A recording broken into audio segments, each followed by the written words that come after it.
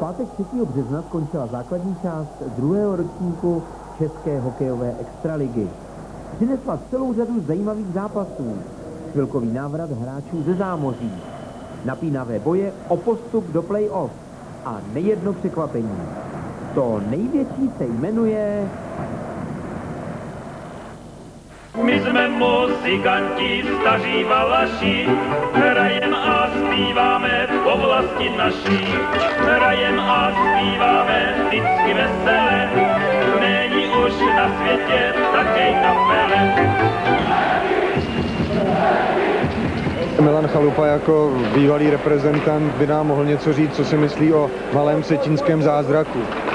No, malý setinský zázrak vlastně to žádný není, já si myslím, protože když se kouknete jako na ty jména, co tady hrajou, tak to vlastně mluví samo za sebe. Samozřejmě doplnili vynikajícíma hráčema kádr, jak už jsem říkal, nemají žádnou tu e, nižší generaci, mají střední a vyšší generaci, že jo, zkušený hráče. A si myslím i tady to obecenstvo, to prostředí, který tady je, že vynikající a to mužstvo burcuje, burcuje k těm maximálním výkonem. A si myslím i to malý kluziště, který tady je, tak ten divák jako je e, s těma hráčima, pořád se něco děje před bránou, ten tuk je pořád něco podobného v kanadský NHL, takže to prostředí tímhle tím způsobem si myslím je vynikající i tím hřištěm. Já když to takhle vidím, já jsem tady dneska v Setině poprvé a já byl překvapený, kam vůbec jedu, protože já v Setině nikdy tady jsem nikdy nebyl, já ho neznám. Ani co jako hráč, to Setin nikdy nehrál žádný hokej na takovýhle úrovni a divím se, že ty lidi prostě do toho šli a daří se jim se jedna rodina, vlastně hoří, jsou naša odbyta, my jsme valaši, chlapci jak chlapci, a naša když jsme tady byli před ligou, říkal jste, že byste bral střed tabulky, klidný střed ze třetínem a teď se hraje o špici. A myslím, je to překvapení pro všechny, jak pro fanoušky a všechny příznivce sportu, tak i pro nás. A budeme se snažit postoupit teďka co nejdál do play-off. No tak ten průběh sezóny byl pro nás hrozně příznivý, když ten začátek, když to vezmete zpětně, jsme měli po deseti zápasech 6 bodů, řekněme nic moc, ale je vidět, že je tady spousta starších zkušených hráčů a ve chvíli, kdy se to dalo herně dohromady, tak jsme šli nahoru, udělali jsme do šňůru do Vánoc bodu a to mužstvo se na to konsolidovalo.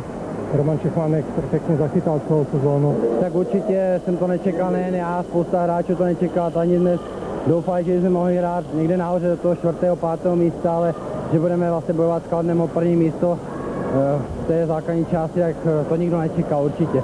Ale zase na druhou stranu jsme rádi, že tam jsme, protože hrát dole není žádná slast.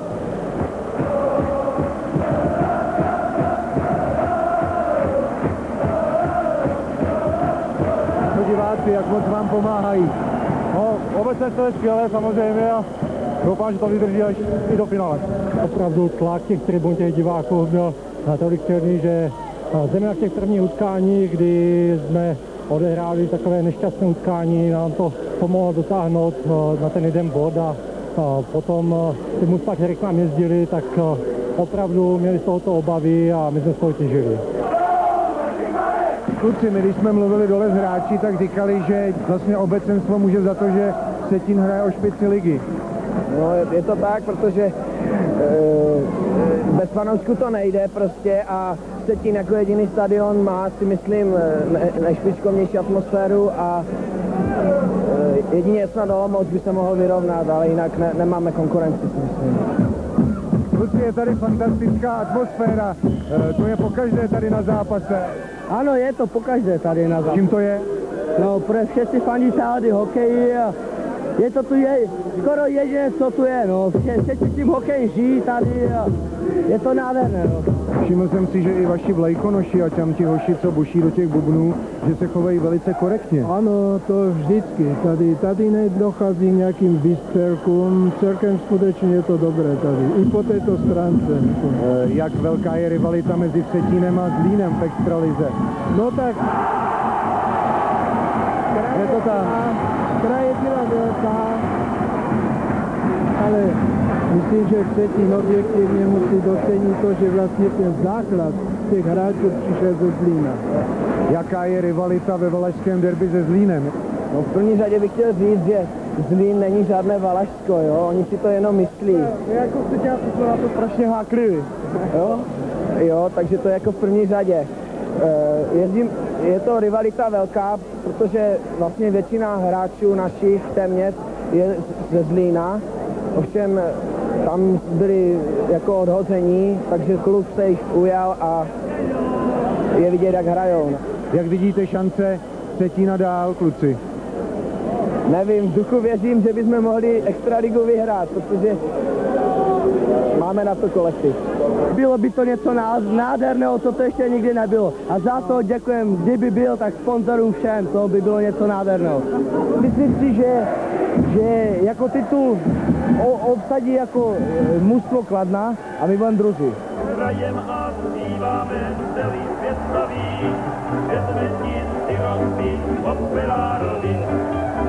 nás je to 30 let, pěsničky máme jako. Vsetín hraje poslední ligový zápas základní části doma. Petr Husička, prezident klubu, myslím si, že září spokojeností. No to určitě, když jsme se bavili v srpnu před soutěží, tak jsme říkali, že máme cíl do toho osmého místa dostat se do play-off a že věříme, že budeme před Zlínem a je vlastně konec základní soutěže a půjdeme do ní z prvního nebo z druhého místa, takže určitě je to výborný. Jak hodně pomohli sponzoři.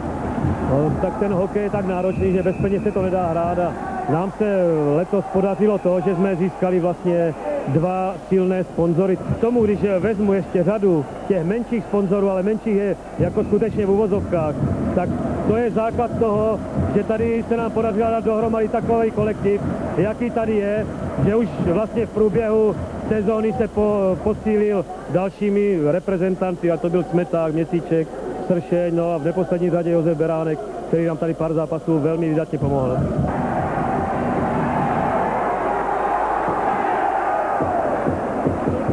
Se konec posledního zápasu Vsetína doma. Vedete 3-1, já si myslím, že spokojenost. No tak já spokojen z nadmíru, i když dneska to není ono, ta hra na čtyři řady vyžaduje úplně něco jiného, než na co jsou naši hráči zvyklí. A myslím, že to dotáhneme. Myslel jsem tím, že končí vlastně dlouhodobá část doma, že už vás čeká jenom playoff, takže koho?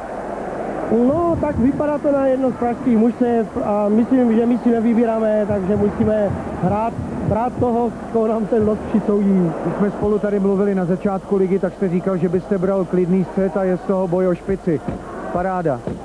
No, je to výborné, protože věřil jsem tak páté až sedmé místo, ovšem mužstvo se dalo natolik dohromady, že bojujeme o čelo.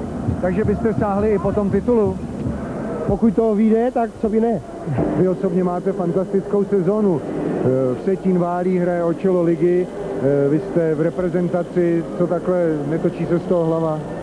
Tak eh, já bych neřekl, že jenom tato sezona je perfektní, mě vyšla i ta mě předešla, že se mi taky dařilo a já jsem rád, že se daří nejen mě, ale i ostatním hráčům, ale uh, tak eh, samozřejmě mohla by se z toho zatočit hlava, ale uh, zatím ne, zatím eh, jsem jako spokojen se svými výkony a uvidíme dál, snad se mi ta hlava nezatočí. Když půjdete do finále, takže i Červíček trošičku hlodá, že by ten titul mohl být.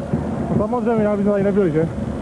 Tak eh, samozřejmě chceme dosáhnout co nejvíš, ale eh, řekněme si to takhle jako bylo by pěkné letos to semifinále a příští rok to ve finále. Myslím si, že je to jako historický úspěch na nováčka, že se to tady nikdy nikomu nepovedlo a uvidíme, chtěli bychom to zkusit dál, no. Bylo by to pěkné, kdyby to třeba letos vyšlo i na ten titul, no.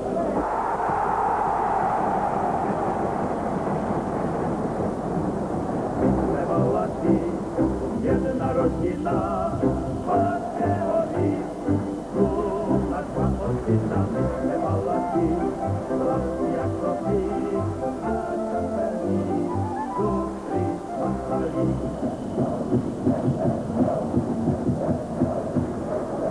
Starší i pokročilé, které kdysi psali v hlavě.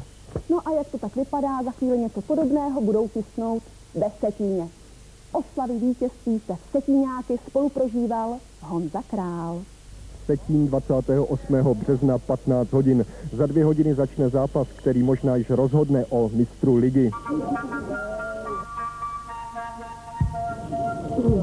do Vsetína přijel Litínov. Když Vsetín vyhraje, bude vše jasné. O svých hokejistech fanoušci nepochybovali ani v nejmenším. Nervozita stoupala. Alkohol plynule přetékal z lahví do lidí.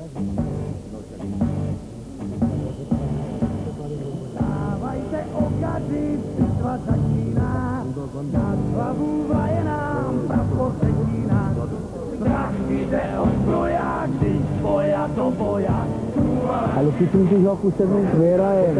Eh, tři, no, no to je blbost. Pět, dva. Nakolik to typujete dneska? Dneska je to typuju, tak pro Vsetín vyhru asi 4-2, jo? No. Děkujem. Je to naše. Ať, ať jsme mistři, jo? Na Vsetíně. Děkuji. Mistři, ať žijou mistři, jo? Výborně, domů. Čekuňou to nepustíme. Kolik začnete prodávat šampaňské, nebo kdy? Po druhé třetině. Až po druhé třetině, proč ne hned? Myslíte si, že třeba ještě Vsetín nemusí vyhrát? No, to myslíme, že asi vyhraje, ale pro jistotu po, až po druhé třetině. Vsetín 28. března krátce po 17. hodině. Puk právě vpadl na led.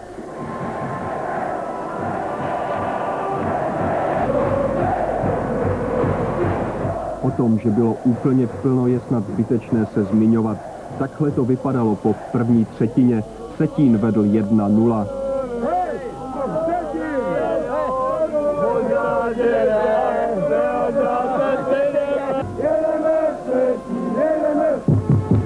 Setín 28. března. Jsme v místě, kde je kotel. Je tady opravdu těsno.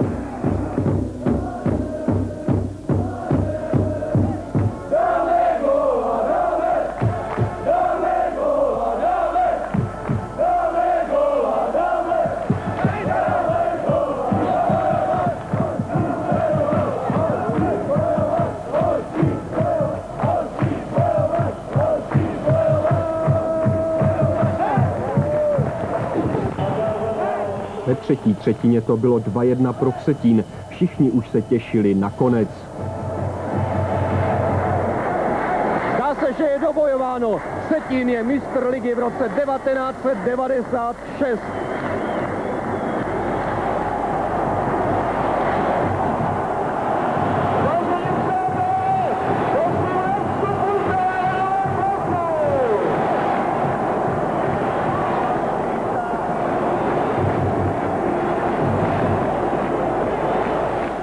Došlo na nezbytné ceremoniály.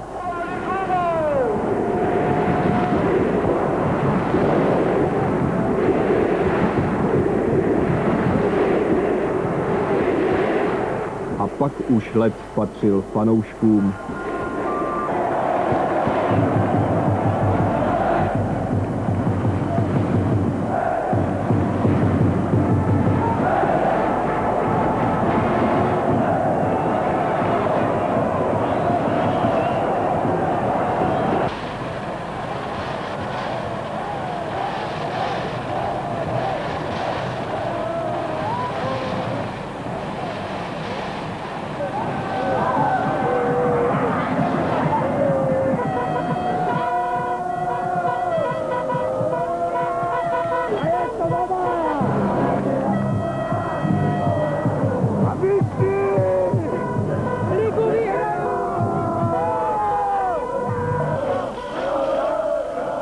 Ulva, Besedňák, Poker, tak se říká ve Vsetíně místním hospodám. Byli tam snad všichni, do hospod se odcházelo z ledu hromadně.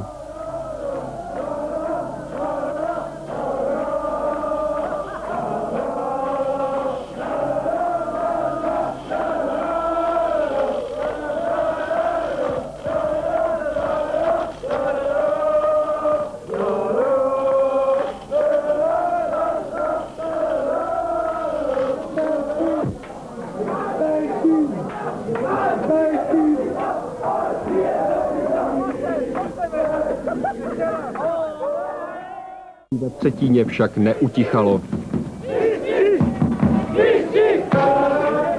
A nyní jsme pro změnu v pokru.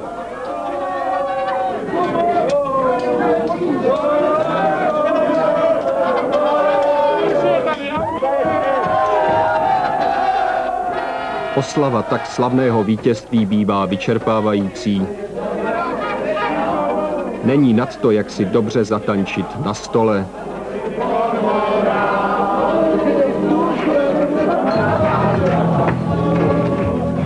Stranou oslav nemůže zůstat ani diskotéková obec.